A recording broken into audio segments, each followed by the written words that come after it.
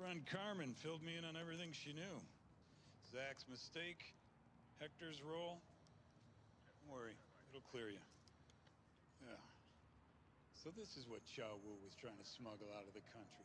Chase Linh was willing to kill for. Great work. Way above anybody's expectations. I know what it's like going deep undercover. Too easy to lose sight of who we are why we do this.